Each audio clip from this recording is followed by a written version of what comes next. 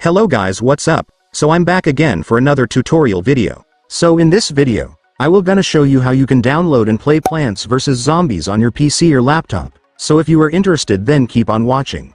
But before all that, if you are new to my channel consider to like and subscribe for more videos like this, and also, you can comment down below if you have something that you want me to make a tutorial about. So without further ado, let's start the tutorial. So to download and play Plants vs Zombies on your PC or laptop, you will need to download this app first. So this app is called BlueStacks. So BlueStacks is an Android emulator app that allows you to run Android apps and games on your PC or laptop. And since we all know that Plants vs Zombies is a mobile game, we will use this app to play it. So to download BlueStacks, I want you to go to your Google Chrome or any web browser on your device. And once you're on your web browser, you can now search for BlueStacks.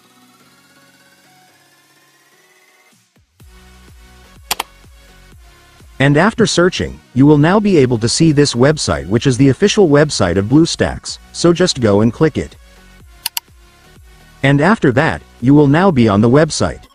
So to download BlueStacks app on this website, it's so simple, you just need to click this download button right here. And after clicking it, the BlueStacks installer will now be downloaded, so you can now click the file to start installing the app.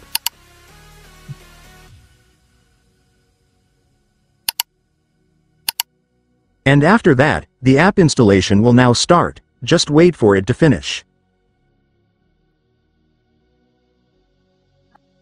And once the installation is finished, your BlueStacks will automatically open.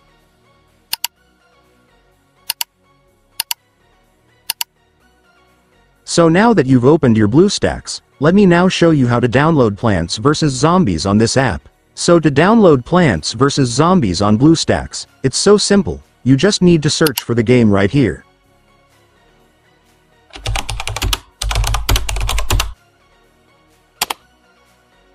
And after searching, you will now be able to see the game. So Plants vs Zombies have different game versions, such as Plants vs Zombies 1 and 2, so just select the version you want to play. In my case, I will choose the first and original version of the game. And then just click the install button. And after that, BlueStacks will now start opening the game, just wait for it to finish. And once it's finished, finally, for the last step, just click the install button to finally start installing the game.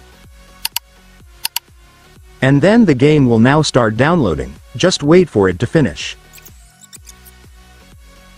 And once it's finished, it's done, congratulations, you will now have your Plants vs Zombies on your PC or laptop, so you can now start playing the game.